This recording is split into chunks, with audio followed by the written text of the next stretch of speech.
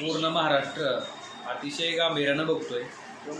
ज्या पद्धतीनं सरकारी यंत्रणेचा गैरवापर करून राजकारणात काम करणाऱ्या व्यक्तीला भाजपच्या बाजूनं झुकण्यासाठी परावृत्त केलं जात आहे त्यांना सगळ्या पद्धतीनं दबाव आणून पक्षाला पाठिंबा द्यायला लावला जातोय.